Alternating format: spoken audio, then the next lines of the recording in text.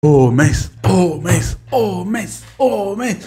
Eu acabei de ver Mercenários 4, o filme mais hétero, top, porradeiro, explosões do ano.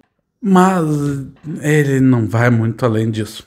Olá, sejam muito bem-vindos ao Não Alimentos Zumbis. Eu sou a Lê e como eu falei no começo, eu acabei de assistir Mercenários 4, que estreou nesse final de semana nos cinemas e vou contar um pouquinho agora de, do que, que tu pode esperar de mais um filme dos Mercenários. Esse filme, o grupo liderado por Barney, vivido pelo Sylvester Stallone, tem que impedir uma ameaça nuclear. Uma bomba nuclear caiu na mão de perigosos terroristas que querem causar um acidente internacional que poderia levar à Terceira Guerra Mundial. E é sobre isso. O filme para aí. Eles têm que ir lá impedir, eles vão lá impedir.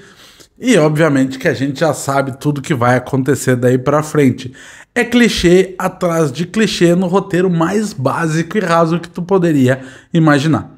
Mas claro que eu não tô aqui para dizer que eu esperava uma grande história de Mercenários 4. A verdade é que quem assistiu os outros, principalmente o terceiro, já sabe o que esperar. A franquia não tem pretensão nenhuma de ir além disso. Principalmente nos dias de hoje, quando a gente vem de Atômica, John Wick, filmes de ação que estão um pouco mais sofisticados, digamos assim. Não que eles tenham lá os seus grandes roteiros, nem nada assim, mas pelo menos histórias um pouquinho mais interessantes do que uma coisa muito oitentista de tem uma bomba, nós temos que impedir que essa bomba exploda e acabou.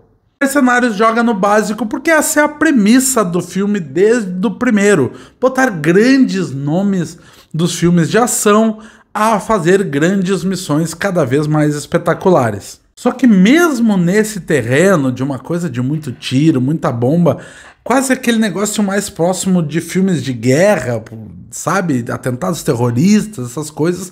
A gente já vem vendo filmes que fazem isso muito melhor, como Resgate na Netflix ou O Pacto no Prime Video. Os dois filmes conseguem trabalhar com esse tipo de ação melhor do que Mercenários está fazendo. Mercenários parece que fica muito preso ainda nessa estética e nessa ideia de que seus grandes nomes vão levar as pessoas no cinema. E o que a gente mais vê é que isso não tem dado muito certo, principalmente nos tempos de hoje, pós-pandemia, principalmente, onde as bilheterias vêm diminuindo e tu precisa de um item a mais para fazer com que as pessoas vão até cinema e paguem caro por esses filmes. A era do streaming também tá aí e talvez esse filme conseguiria encontrar um público melhor se apostasse mais nesse campo do streaming do que levar esses filmes para as telonas. Talvez seja um erro aí de, de marketing, de ideia da produção do filme. E mesmo na ideia de levar grandes nomes, o filme ele parece que ele está diminuindo, parece que ele está regredindo em relação aos anteriores. O próprio Mercenários 3 já foi bem fraco de bilheteria.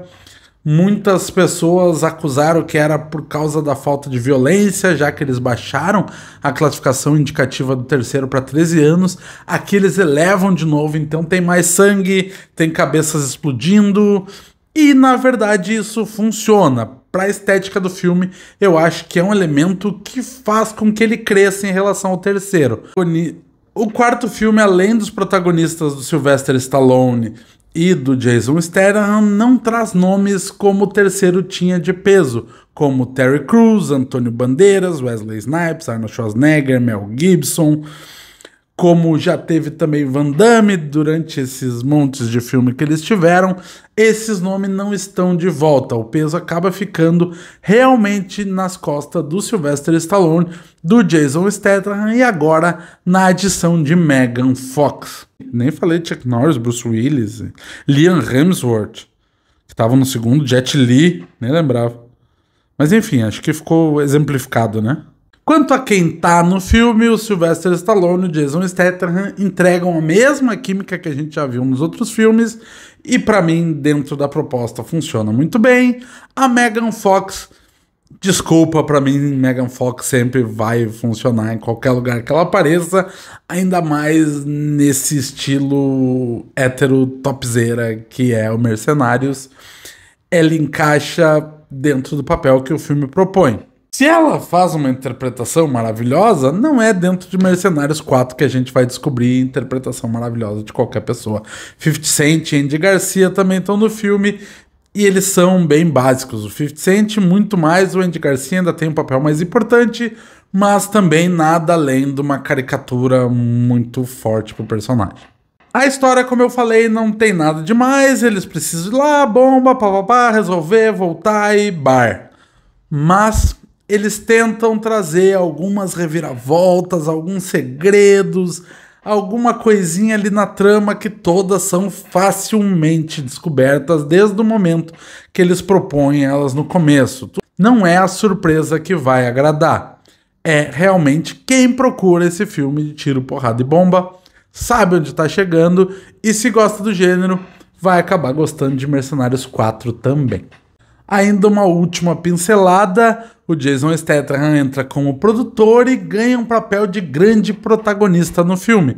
É outro ator que eu gosto bastante, ele segura bem a onda, mas esse papel mais principal do grande chefão faz falta que não esteja na boca do Stallone. Grande vilão, que eu não vou comentar aqui quem é, porque é uma das surpresas que o filme tenta proporcionar não vai além do mais raso que ele poderia ser.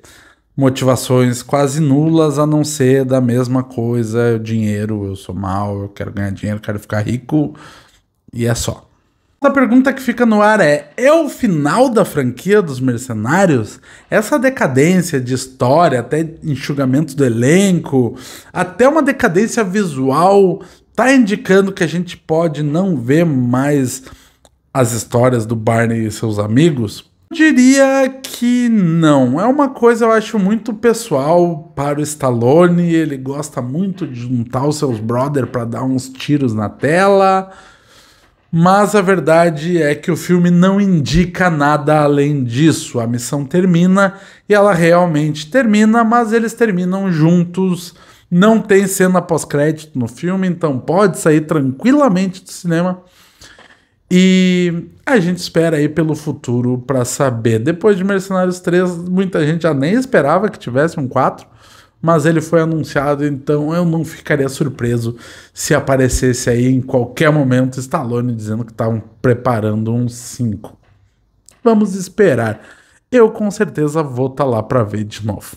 Lembrando que Mercenários 4 já estreou no cinema, você pode assistir ou se tá com aquela graninha curta, tem muito mais coisa legal estreando no cinema e guarda para esperar no streaming. É um filme que dá para ver do conforto aí da sua casa, com volume bem alto, muito tiro para incomodar os vizinhos. Se você já viu, comenta aqui o que achou, nos sigam nas redes sociais e a gente se fala qualquer hora dessa. Tchau.